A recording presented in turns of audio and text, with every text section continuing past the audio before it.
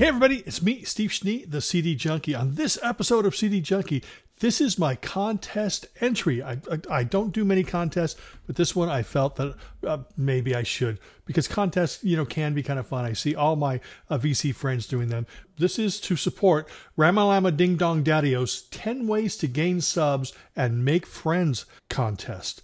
Uh, he's come up with 10 questions, uh, and, you know, obviously he's being a little funny, sarcastic, uh, you know, ways to gain subs, whatever. But uh, he, he actually has a list of 10 things that, that he, you know, he wants us to go through, but they're very simple, they're very easy, uh, and you don't even have to write them down. Uh, I'm going to put them in the comments below definitely uh, uh, enter this contest. This is going to be really fun. So let's start with question number one. Show your copy of a solo album by one of the former Beatles, not named John, Paul, or George. And this will definitely attract Beatles fans to your channel. But here's Ringo's Old Wave. This is on the Culture Factory label. This is a solo Beatles album by one of the Beatles not named John, Paul, or George. Number two, uh, show a jazz album so viewers will assume that you are well versed in all styles of music. Well, we're going to get down to the nitty gritty with jazz here. Vince Guaraldi, this is the super deluxe edition of the Charlie Brown Christmas, and it has four CDs and a Blu ray.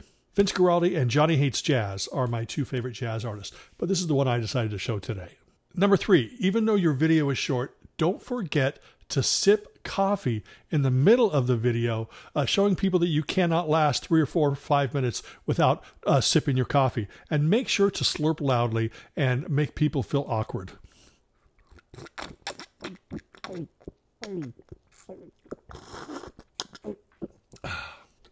Number four, name drop bigger channels in order to let uh, new viewers think that you are part of the VC. I thought about this one and I thought I am not going to drag uh, some of my dear, dear friends like Norman Maslin or uh, uh, Germany's finest Michael, 33 and a third. Um, I'm not going to drag them into this, so I decided to to skip this one. Number five, under no circumstances should you ask anyone to subscribe to Richard the Music Maniac.